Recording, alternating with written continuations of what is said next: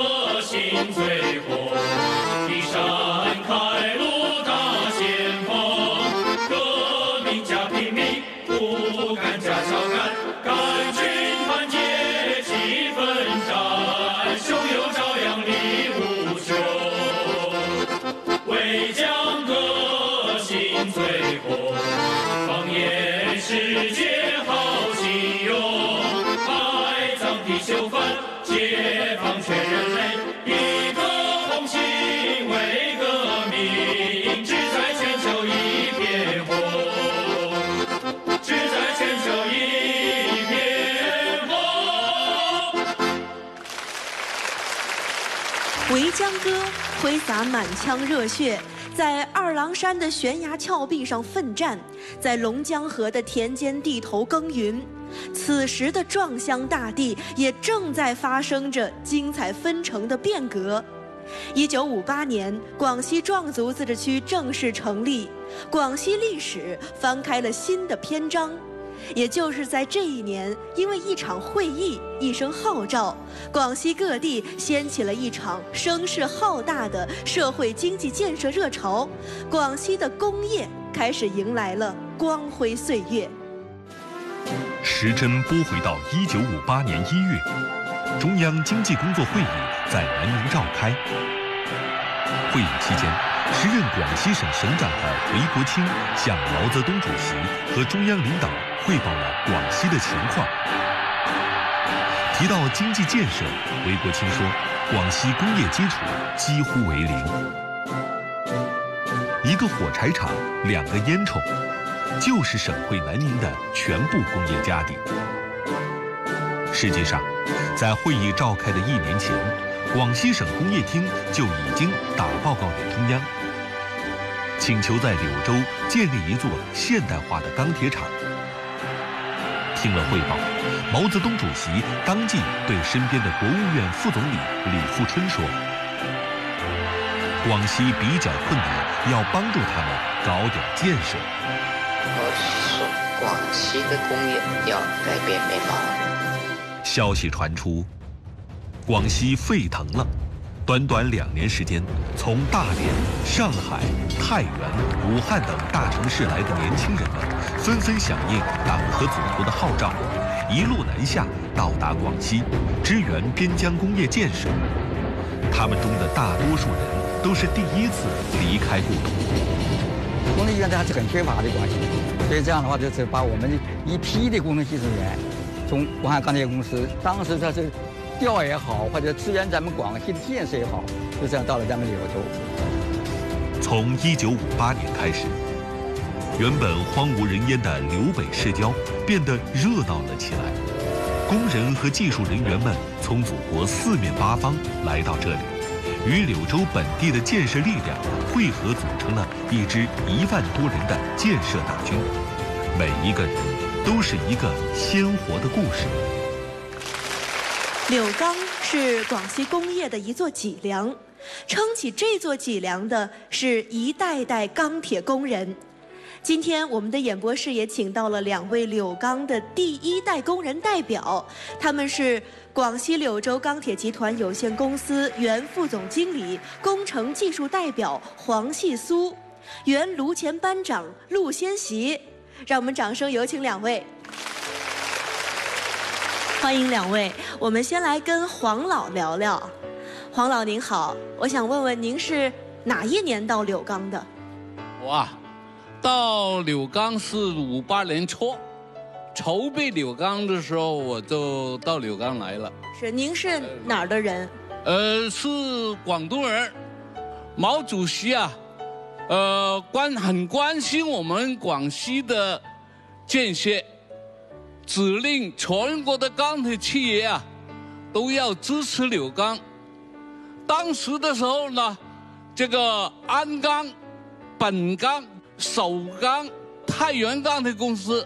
还有上海、武汉、重庆、大冶等等的钢铁企业，都派了工程技术人员、老工人到我们广西来支支持我们钢铁企业。我呢是也是武汉那边来的，那个时候，嗯。是那黄老，您还记不记得啊？当年刚刚到柳州的时候，柳州是什么样子的？柳州当时是一个不大的城市，很小。那么下火车以后的话呢，一看没有几条街道。那个时候全柳州嘛，就是呃，市区就十来万十来万人。我们搞工业建设了，搞柳北区啊，在柳北区那个地方更荒凉了，生活条件呢也很差。那个时候没什么自来水啊，什么都没有的，柳北呀都很很艰苦，很艰苦。所以呢，大家的生活啊都是刻苦过来的。那个时候开句玩笑啊。都吃靠吃一点青菜，有的时候肉都小一点。那么空心菜啊，大家呃吃多了以后，哇，吃无风钢管哦，吃无风钢管。但虽然那么艰苦啊，大家没有想其他。呃，我们就是在那么艰苦的时间呢，在柳北工业区啊，就开始建柳钢。五八年七月一号了，柳钢开始啊破土，我们就把把这个时间呢定为柳钢的建厂纪念日。五九年呢，设备啊不断的安装，柳钢的话呢，从小到大，从土到洋，一直就建成现在的我们国家的大工业。大气钢铁企业，我们现在柳钢的这个钢铁厂的规模啊，在全国来说啊，是算是特大型的。是黄老，不知不觉啊，您到柳州已经是有六十多年了吧？六十多年了。六十多年了，然后您是看着咱们的柳州变成现在的现代化工业城市，谢谢。谢谢您奉献的所有青春和汗水。我们来跟陆老聊聊。陆老您好，当时柳钢刚刚投产的时候，您从事的是哪个岗位？我是柳钢一号高炉炉前的一班的班长。我们刚到柳钢的时候啊，心情非常激动，总想啊好好的把柳钢搞好。我这个炉前班长啊。有两个呃宝贝，想给你看一看。这个是手套。啊，手套。这个手套不是一般的手套，是我们钢铁行业钢铁工人所特用的。其他我不说，就是重量五百零三克。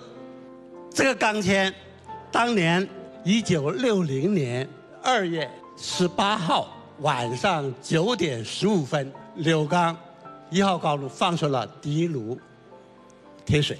那这个第一炉铁水放出来的时候，是需要咱们的工人在现场具体做些什么呢？啊，我们把钢钎打进炉口，退出来以后，一片红光，就铁水出来了。这个时候，我们炉前工人呢，就要保持这个铁口的顺畅。一般情况下，啊，从铁水沟流进砂膜，铸成铁块。有时候有些矿石啊、焦炭呢，堵住铁口，堵住了。这个时候，我们就要用钢钎，叫这个宝贝，啊，去把那些堵住铁口的矿石、叫它捅出来。捅捅掉了以后。这个铁水流流畅了，流完铁水了，喷出火焰了，才能够堵口，啊。可是我们大家知道，这个铁水怎么的都得有上千度吧？一千多度。一千多度的铁水，那咱们当时工人要距离这个铁水保持一个怎样的安全距离呢？我们一般都是没有事的话，就要离开铁血沟啊。这一米五以上，但是我们操作人员就不能执行这个规定了。要操作的必须在铁血沟边，铁血沟离我们一般都是在二三十厘米旁边流淌过去。再烫也要坚持，再热也要坚持。不得都是水泡啊！我的右边肩膀这个部位呢，一片焦黄。是，那我想问问黄老，当时您的岗位也是在这样极端的高温条件下进行的吗？对的，钢铁厂啊，大家都知道，叫做重工业。重工业，钢铁工人呐、常年都在高温、高湿、高粉尘的这个情况下劳动作业的。那么越了越的没办法，大量喝水，喝水进去了以后的话，身体呀、呃，大量挥发体液啊、汗水呀、盐分啊等等，就把衣服啊都搞成一片一片的白。搞钢铁啊，又苦又重又累，但是要多干啊，那也得干是吧？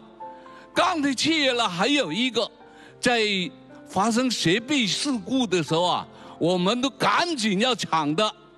有个时候在现场啊，干几十个钟头，都要坚持下去，不吃饭不睡觉都要继续干。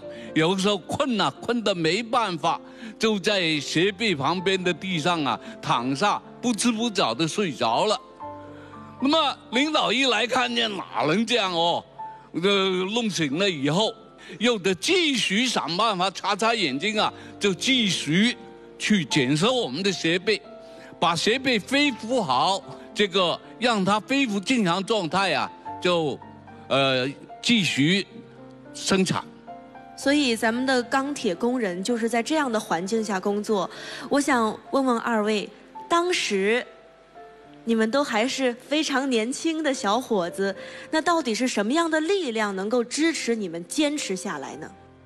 当时我确实是很年轻，二十出头，但是我能够亲身呃经历了这这一段呃历程，亲自参加了放出广西第一座大高炉第一炉铁水，我感到非常荣幸，这是我一生的荣幸。是你们把青春都奉献在这儿了。我想说，呃两位，我能握握你们的手吗？哎呦，好，谢谢。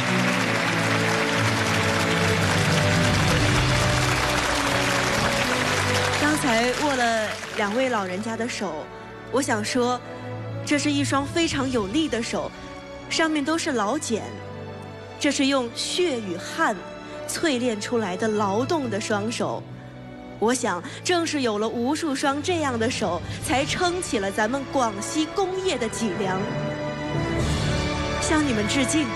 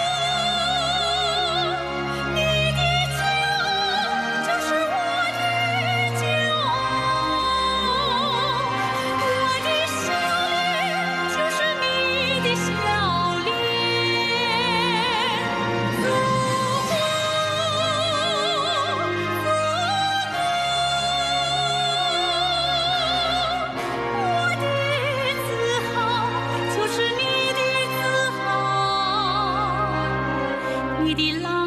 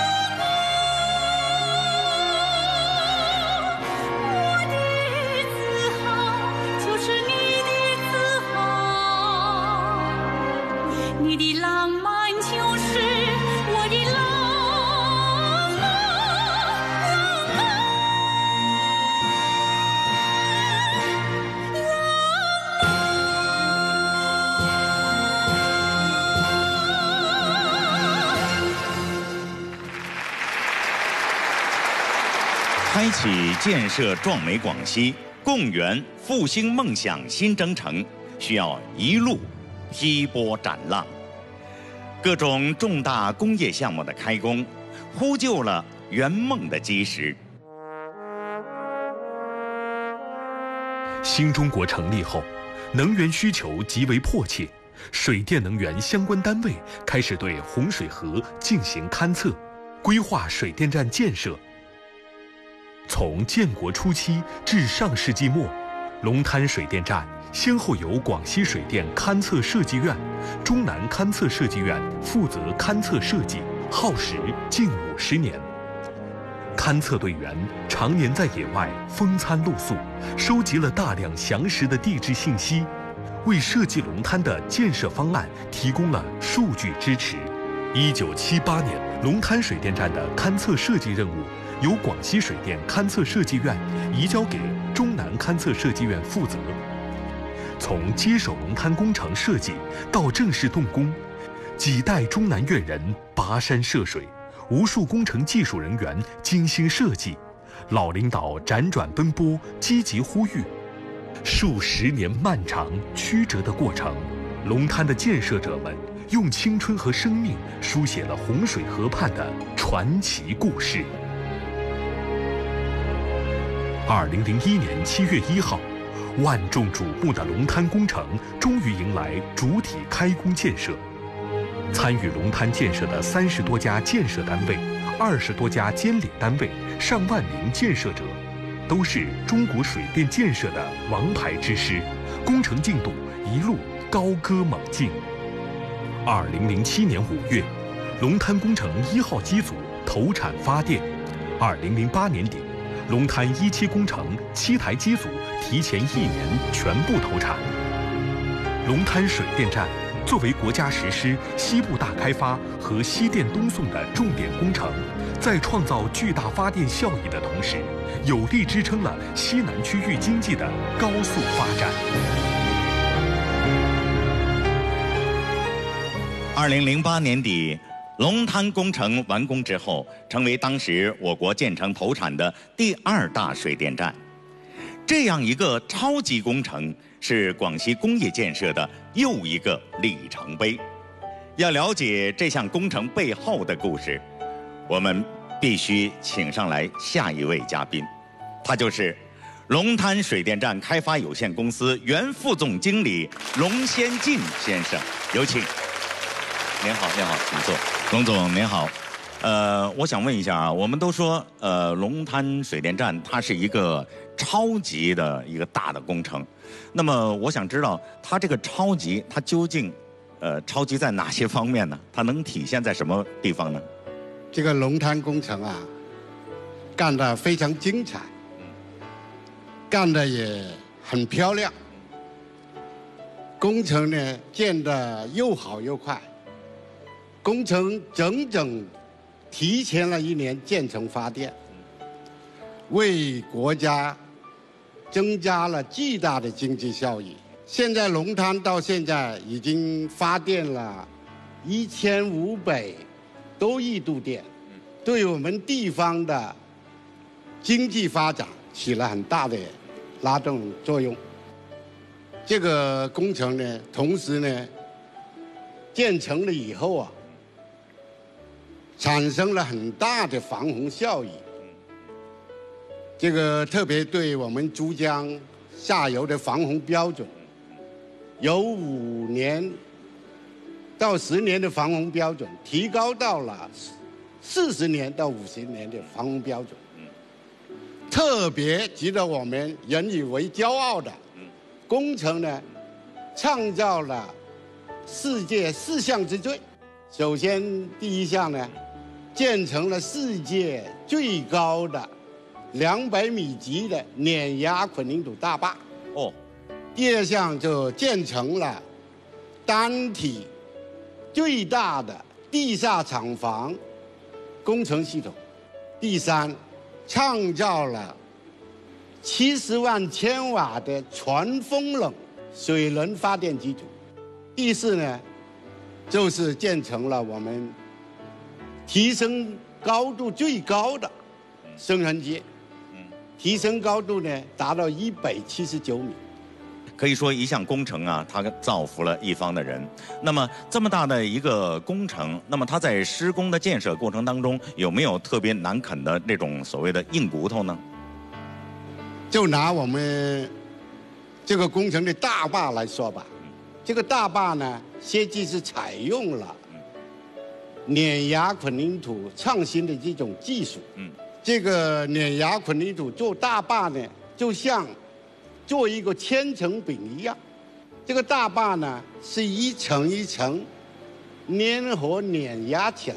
嗯，那么整个施工的过程中。嗯是不能停的，嗯，是要连续的施工，嗯，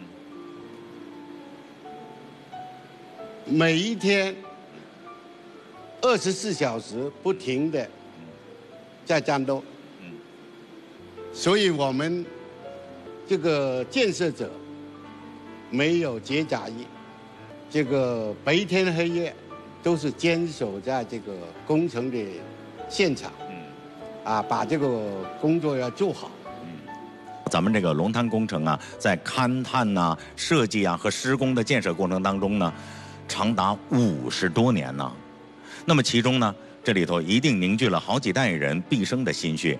那么在这里面有没有能够让您刻骨铭心的一些人或者一些故事呢？这个龙滩的建设啊，经历了几十年的时间。有一些专家经过一生的努力都没有看到龙滩建设这一天，比如说我们那个中南院的勘察勘测设计工程师吴光平同志，在勘测设计期间，为了及时的完成这个设计任务，他几次的推迟了。这个婚礼、结婚的时间，他的足迹遍布了整个当年的一个封山野岭。在一次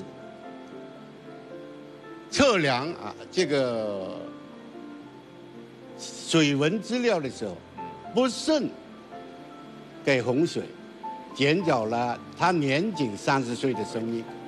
这个当时我们中南院。这个实验的院长石振国同志，因为为了龙滩前期的坦克设计任务病倒了，他在临终前留下了遗嘱，他说要把我的骨灰撒在龙滩，死后呢要和大家一起建龙滩。非常的感人哈。那么一代代的龙潭人前赴后继，在滚滚的洪水河上筑起了一座能量之坝，为广西的经济输入了强劲的动力，也为中国的水电工程事业领先世界写下了光辉的一笔。谢谢您。如今，包括龙潭水电站在内，在广西的西江流域的干流上，共有十级水电站。他们将广西的资源优势转化为经济优势，让中国的水电能源综合利用能力站上了新的台阶。那么接下来我要给大家介绍的这个集体，那是清一色的渔家姑娘。他们的故事甚至被拍成了电影，还写进了歌里。要想了解他们，我们就得呀、从一首歌开始。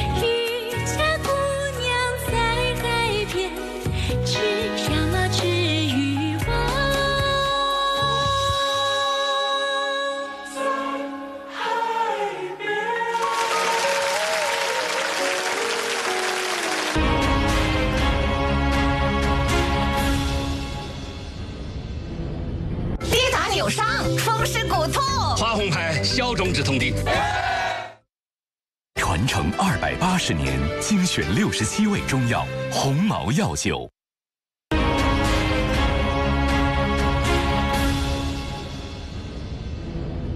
这是在上世纪七十年代非常有名的一部电影《海峡》的主题曲。这部电影讲述了一群渔家姑娘守卫海防、建设家园的故事。这个故事的原型，其中就有一部分是取材于广西北海市的地角女民兵。要聊。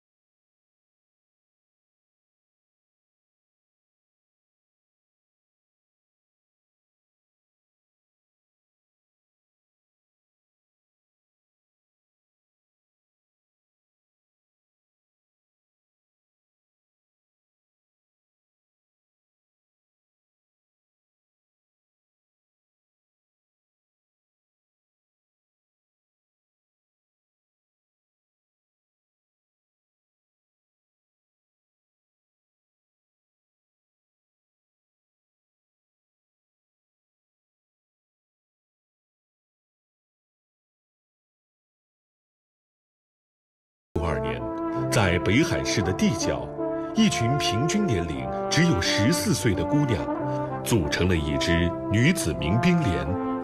她们用稚嫩的肩膀托起钢枪，从此与大海风浪为伴，勇敢地担起守卫祖国海防前哨的重责。六八步枪，他把那气都插上去，比我们人还高得多。女民兵们不仅按照正规部队的标准进行军事训练，还积极参加生产劳动。一九六四年，地角港建设开工，女民兵们与当地群众一起肩挑手扛，挖土填坑，哪里的任务最艰苦，他们就冲锋到哪。一百几十斤呢，两箩筐，就靠这个这个肩。随着改革开放时代的到来，女民兵们凭借诚实守信、敢拼敢闯的性格，在山海中开辟出一片新天地，让地角这座昔日偏僻的渔村，成长为北海最繁华的渔港之一。因为是当过民兵，真的是有一种正义感，最主要是正义感、责任感，所以我们出出来做事情，什么都是凭凭自己的良心。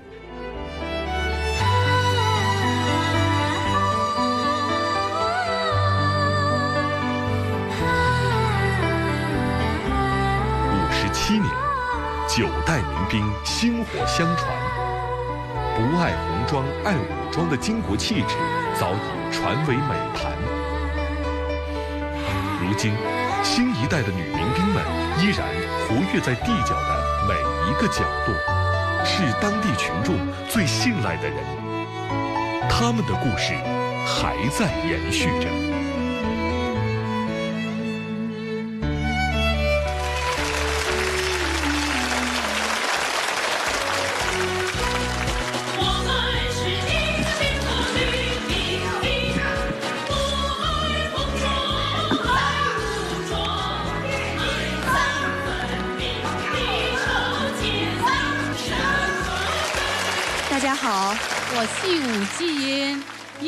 九六八年参加地角女民兵。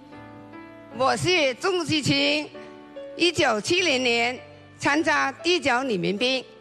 我是徐月辉，一九七六年参加地角女民兵。我是吴伟芬，二零一三年参加地角女民兵，欢迎大家。我想问问我身边的这位吴阿姨，啊，您当时加入女民兵连的时候是多大的年纪？十六岁。我们特别好奇的是，那个时候女民兵一天的生活是怎样安排的？早上就是六点钟起来搞那个军事训练，到了八点半又参加了那个生产劳动，晚上呢七点半钟又组织学习和呃学唱歌，晚上呢呃十点钟就轮流，一一般就是几个人站岗站呃呃巡逻。听武阿姨这么一说，咱们的女民兵那个时候，从早到晚是根本忙得停不下来。但是当时你们的年纪是那么的小，能坚持得下来吗？我们啊、每天感觉到好辛苦、好累，但是我们心里都很愉快、很高兴。是，咱们来看一张照片吧。啊，这个是呃，当时女民兵们在海边练射击。我想问一下武阿姨，那个时候你们手里的枪是真枪吗？我们的枪是真枪，真枪。我们的枪和部队一样的，我们连干部就是手枪，排干部就是冲锋枪，战士就是步枪，还有各级带的就那个帮用机枪。哇，听起来特别的英姿飒爽。那吴阿姨，我想问一下，当时练射击有没有受过伤？当时我们都是小姑娘，这个皮肤很嫩的，所以练那个战术啊，脚又又撑，一块一块的，和那个肩膀就红肿的。但是我们都晚上就用一一些啊要走擦一擦，明天再来。那每天都要这么练？你们当时心里是有一个怎样的目标呢？我们因为我们就是海边房的女民兵，我们的任务就是保卫家乡，保卫海边房。阿姨，你们真是好样的！我们再来看一下身后的这张照片，啊，是在海边劳作搬石头是吧？哎，钟阿姨，这个是当时的工作吗？当时我们李民兵在我们地角修建一个渔港，呃，又用石头。当时我们就在附近的呃山上去开采石头，把那个石头呃一块一块的搬运到海边的这个小船上，再运回工地。是，可是我想问一下，这些重活累活为什么会让你们这些年纪这么小的女孩子去做呢？因为我们是地角渔村，平常男人都要去呃出海打鱼，所以那些重活累活都要我们女民兵来干。是钟阿姨，我特别想跟你说，如果说没有当时你们的艰苦奋斗，哪里会有我们今天的幸福生活？用咱们现在的话来说，就是要为你们大家点个赞，也为我们地角的女民兵连点一个大大的赞，谢谢你们。谢谢你们。好，我们接下来来问一下身边的这位徐大姐啊，之前我听说别人都评价你为女强人啊，在片子里面大家刚刚也有看到。那我想问一下，当时你是怎么考虑到加入到女民兵连？因为我们从小的看着女民兵训练，崇拜，嗯，崇拜，听着女民歌、女民兵的歌长大的，所以我们地角女孩子对当兵有一种特别的向往，所以高中毕业后我就加入女民兵。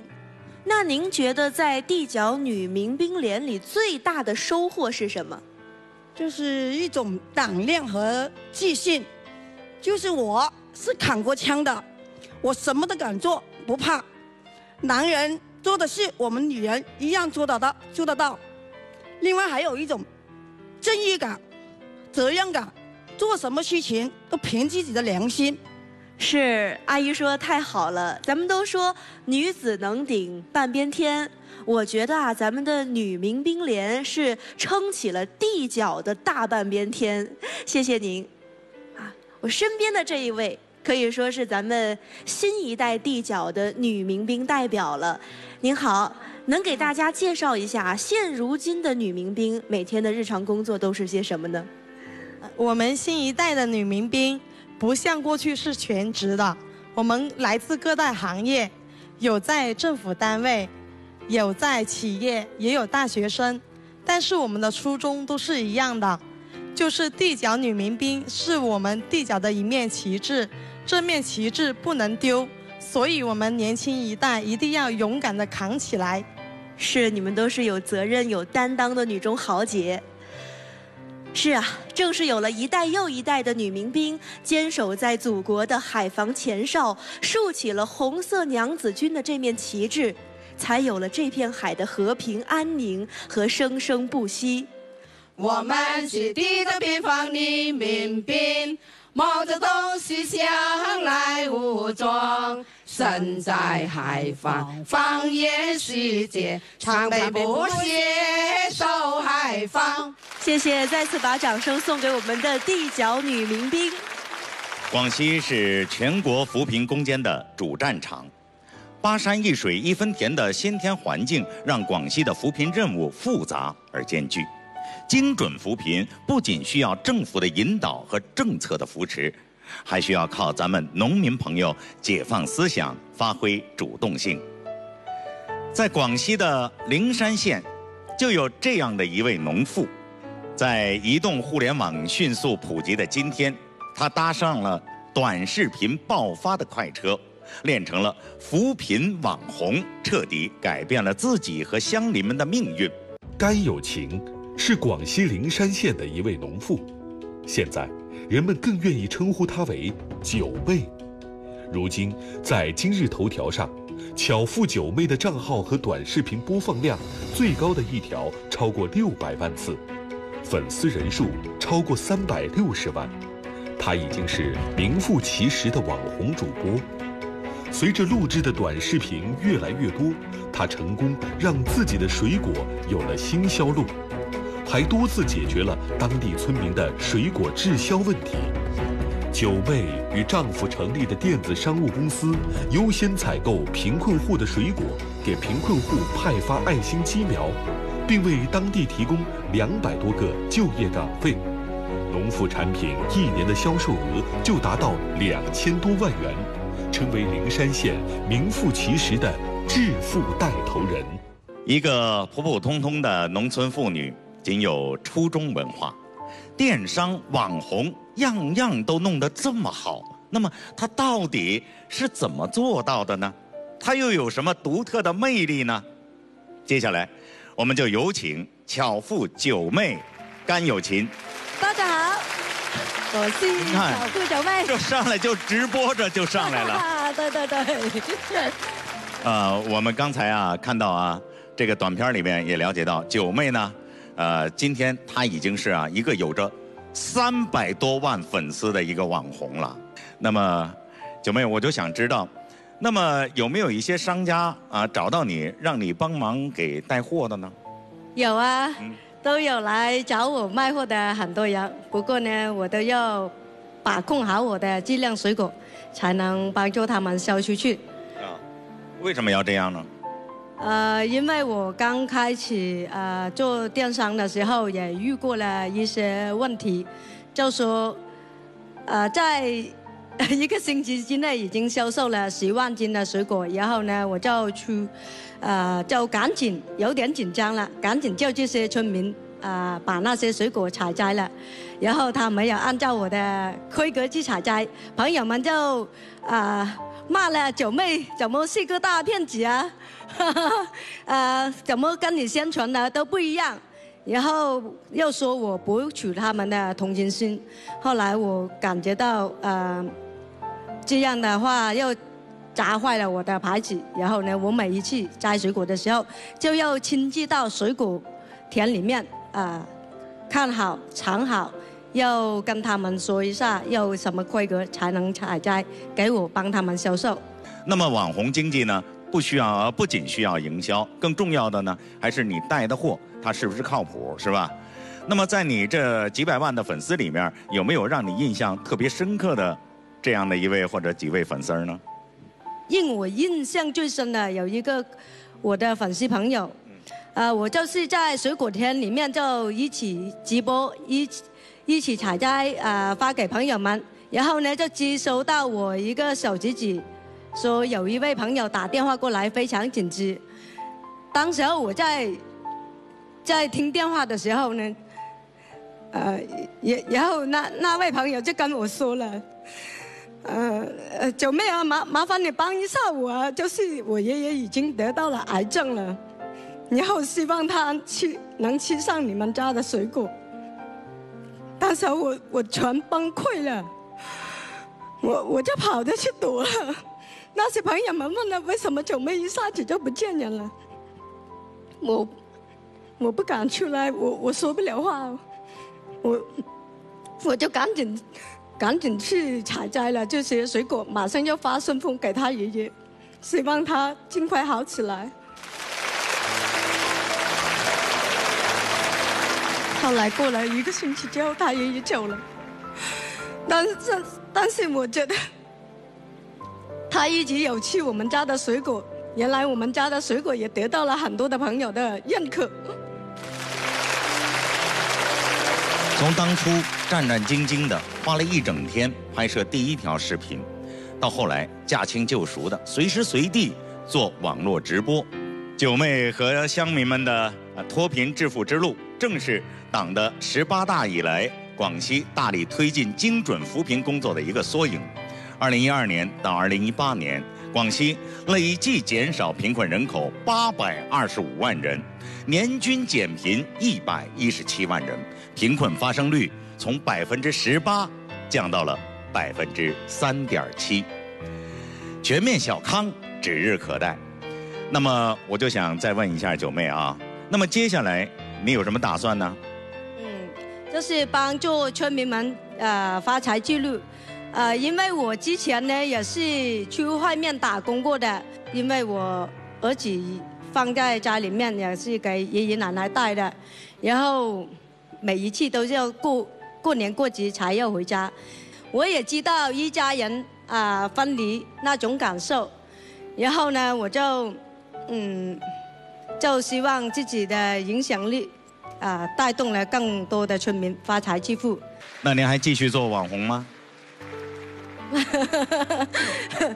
呃，以前我一直都不想做网红的，但是通过我的影响力，带动了那么多的村民一起发财致富，我还是要继续的做下去。谢谢，谢谢，谢谢，非常感谢九妹的分享。乡亲们的生活有了奔头，老百姓的日子过得好了，生活在这样一个生机勃勃、充满希望的新时代，我想我们每个中国人都会感到骄傲和自豪。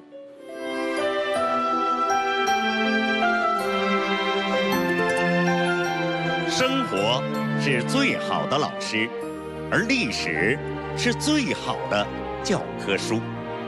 回望新中国七十年不平凡的历程，在中国共产党的领导下，我们筚路蓝缕，砥砺前行，一路走来，走向辉煌，走向复兴。